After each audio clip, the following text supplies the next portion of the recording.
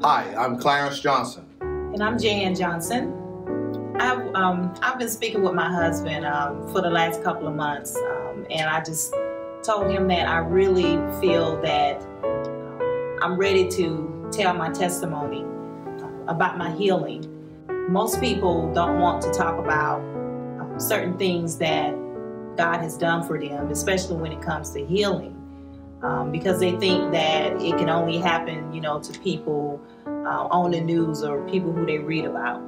And I just want our Voices family to know that healing was already made possible and available over 2019 years ago through our Lord and Savior Jesus. And He healed me from uh, multiple sclerosis. Multiple sclerosis, I was diagnosed back in 2007. And in that time, um, I had just started coming to um, Voices of Faith um, I had not joined, but I had started, you know, my journey here. And just with Bishop um, speaking on um, your faith, um, at the time I didn't know that it was uh, planting a seed, that seed of faith, that seed of belief for my healing. So fast forward to 2000 and that's when um, Clarence and I, um, we got married. And I remember um, one night um, it was time for me to um, take take my regular shots because uh, with the MS I had to take um, three shots a week, and these shots would be so unbearable to to take. Like it would wipe me out um, completely. And this one particular night, um, he got ready to do one of my injections and my body was just so sore um, from just sticking me everywhere. And I just remember um, saying to him, Where else? Where else can you stick me? Because I'm sore. I'm in so much pain.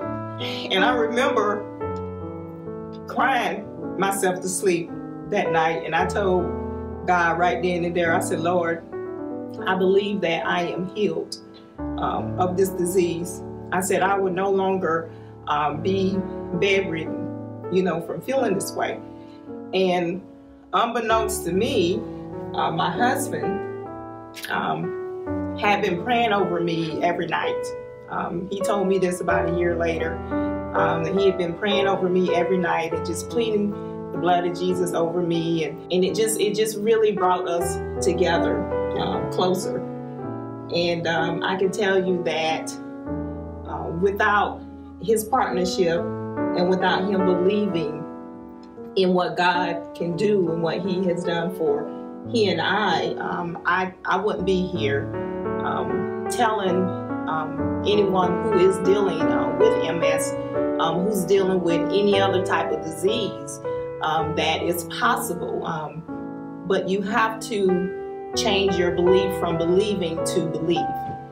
And when Bishop spoke a couple of Sundays ago about how he had to change his thought process from um, I believe in God to do it to I believe God will do it, um, it just resonated with me, and I just I just felt that at this time it was just time for me to um, tell tell everyone about my healing, about my miracle, and um, like I said, in 2007 I was diagnosed and by 2009, um, I was completely healed um, from this disease. And I walk now um, just in victory um, every day. So when you hear me up there just shouting hallelujah and I'm just loud with it, it's because God has just truly has just been good to me. And not only me, but He has strengthened uh, my husband, Clarence, in our faith.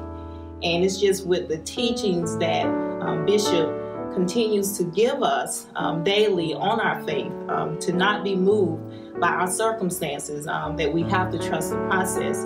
Um, I know that, I believe that um, your healing is already here. And I just wanted to um, share that testimony and just how Clarence has prayed for me over these years.